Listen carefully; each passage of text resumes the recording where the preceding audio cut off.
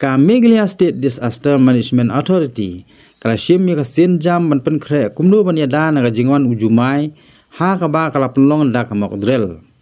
ya ka te mok drill la shim ta nadu ki officer ki khna pule bat ki pajba ka ri boy district da ka ba kila ring dor kumnu ban ya da na ujumai kumbala ja ha ka spa snem jong khat pra spa dai pnyo hari lum khasi balakta ya shibon tli min simbreu bat ki marrep na lor ki wei ki wei ki jing sha shakta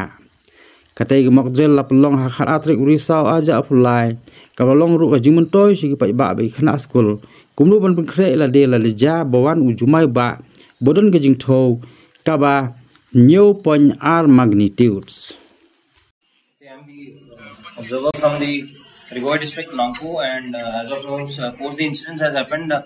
all the immediate response activities have been carried out, wherein the emergency team, that is the medical team, has been activated on time with all the ambulance services provided. The first aid uh, has been set up here at the St. Paul School, which is the center, and all the medical facilities are being provided. And along with that, all the setup, that is the logistic departments and the uh, management staging area, they are all uh, getting themselves updated with the uh, activities and they are providing response on time. So we can see that the initial response is quite good and uh, but uh, over a period of time it requires further more improvement and that uh, we'll see what is happening